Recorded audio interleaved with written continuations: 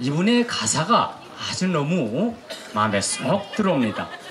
여객선 오고 가는 목포항에서 이렇게 시작되는 노래로 이제 내 고향 고마워요 천사 대결로 마치는 멋진 노래를 가지고 오신 고향 가수님 나오실 때 여러분들 뜨거운 반가운 박수 보내주시길 바랍니다. 나와주세요.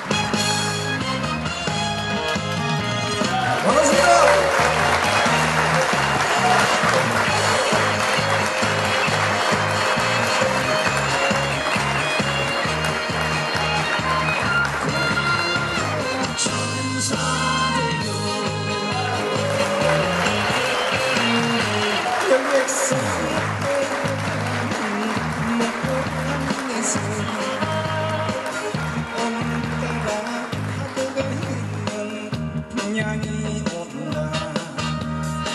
바람아 멈춰라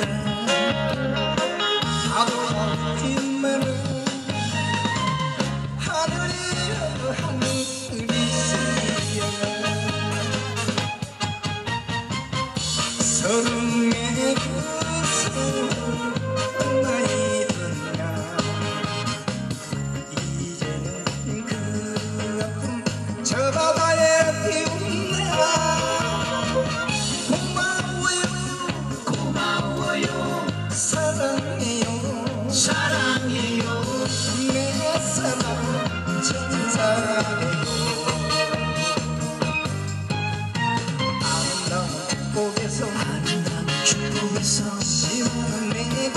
고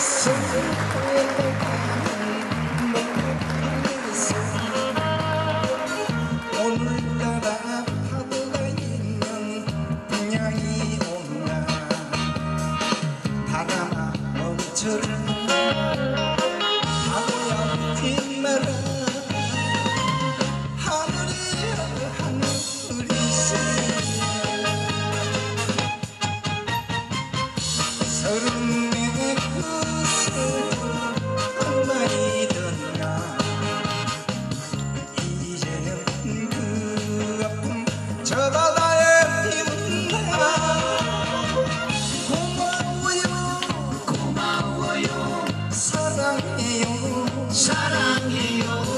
내 사랑 천사예요. 아름다운 축복에서 아름다운 축복에서 시원한 내 고향. 시원한 내